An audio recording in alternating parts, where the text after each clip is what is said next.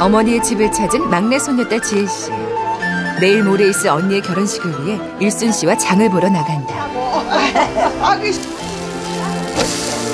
다음 날 부침개의 인절미 그리고 전라도 잔치에 빠질 수 없다는 홍어 무침까지 밤이 깊도록 잔치 준비가 계속된다. 이거 갖다 만들어. 그날 밤 자꾸만 눈물이 나는 어머니. 드디어 날이 밝았다.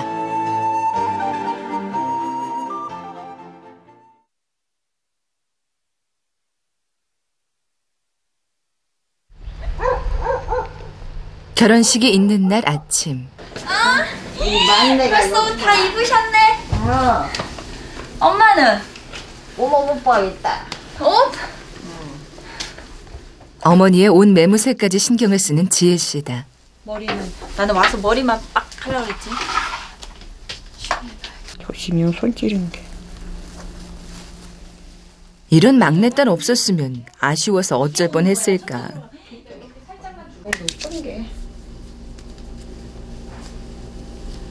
단발머리 할머니. 그만이요.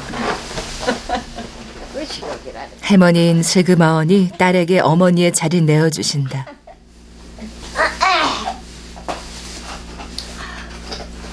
치매이 없었으면 집안이. 피부가 좋아서 화장이 잘 받으셔서. 어 피부가 좋던데. 노션 하나도 안 모르겠는데. 그래도 피부가 좋다니까. 나 옷만 입으면 되는데 단장 안 한 것 같은가 보네. 옷이 평소에 입던 옷이라든가. 언제였던가 어머니의 꽃 같던 날들. 어느덧 무심한 세월 속에 다시 오지 않는 날들이 됐다.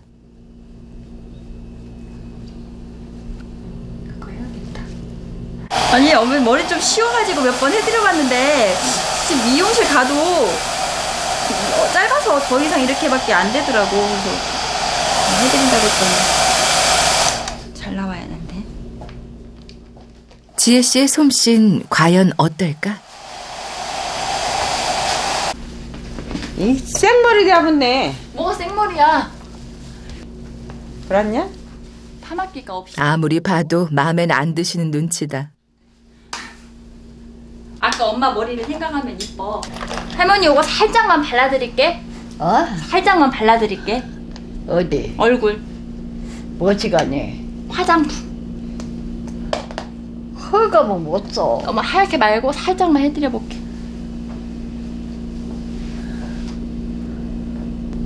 나도 여럽네 배 같아서 살아서 그러지. 얼굴은 깨가 질는데 젊었어도. 할머니, 응? 할머니 아가씨였을 때 예뻤어요? 몰라. 왜 몰라? 동네 사람들이 이쁘다고 안 해? 어? 아니요. 왜 안 해? 왜 안 했어? 몰라. 안 이쁜 게 그러지. 괜한 말씀이시다. 백세도 일이 고우신데 젊은 날엔 오죽 아리 따우셨을까. 너 나이 언제? 할머니 눈 감아, 눈 감아, 눈 감아.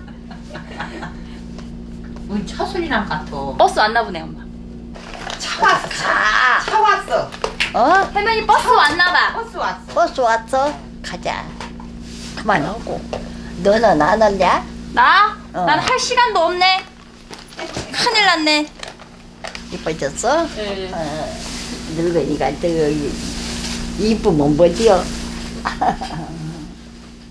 서둘러 나갈 채비를 한다.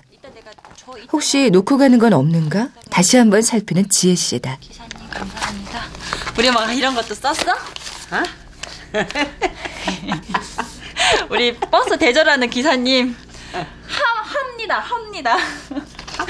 합니다가. 고즈넉이 가을이 내려앉은 마을 길목. 손님 모셔갈 버스도 도착해 있다. 나 데리고 가야지.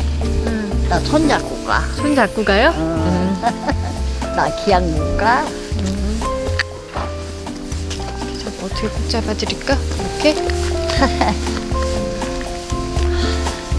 그 가서도 붙잡고 댕겨요. 그러면 지팡이 갖고 올까요? 응? 지팡이 하나 가져갈까요? 아니, 편의로 어쩌겠지.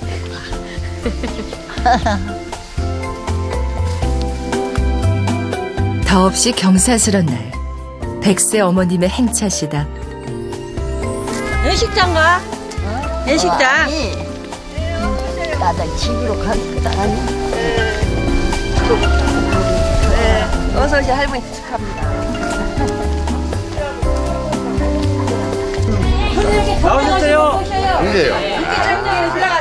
우리 올라가셔. 어, 걸어오니라고 힘든 게. 안 나왔대요. 일순 씨도 젠 걸음으로 떠날 준비를 하고 정성껏 장만한 잔치 음식도 차에 실었다.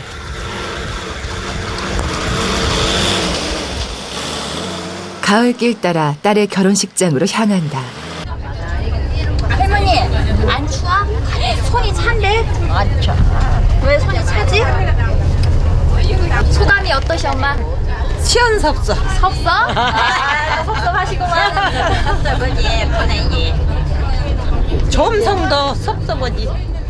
금세 눈물이 핑돈 일순 씨. 그런 소리 하지 마. 나 눈물 나. 알았어 알았어 알았어 손님은 그냥 우리 자리에. 눈물이 힙어서 못 써, 나는. 시집 못 가다 가도 눈물 나오네. 뭘 울어? 막내가 갈 때는 안 울지. 안 올까? 응. 마지막 한개 또 서운하지? 안 울면 서운한데? 나이가 많이 먹어서 간데 왜 울어? 지금 간다면은 눈물 나. 이 사람도 많이 늦지막히 가야겠구만 눈물 안 나게? 늦지막히 가야겠어 그날에 행복하게 살라고 웃어야요.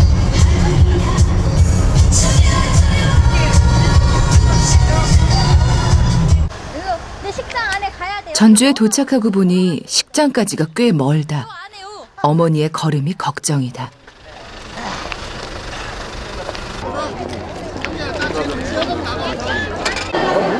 손녀딸 손을 꼭 잡으시고 식장에 오신 어머니.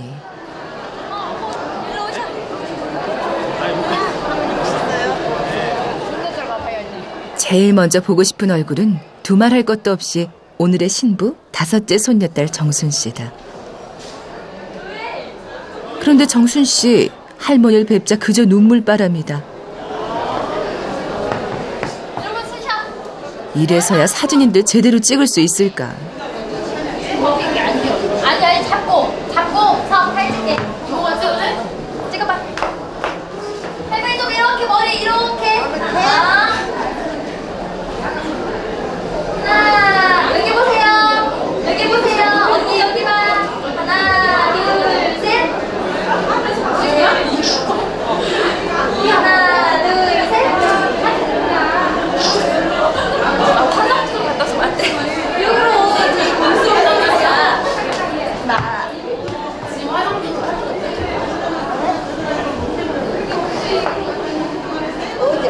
여기 앉아 계셔. 자리가 없어 지금. 응. 앉으셔 여기. 예. 어? 사진 좀 찍으려 했더니 그냥 엄마도 엄마도 사진 좀 찍어. 손녀딸의 눈물을 보신 할머니. 할머니의 마른 눈가에도 눈물이 흐른다. 너 앉아야 돼.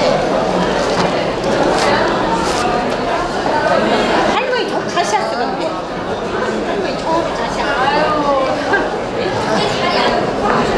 좋은 날왜 우세요? 좋은 날왜 우셔요? 좋아서. 이쁘다. 그쵸? 누가?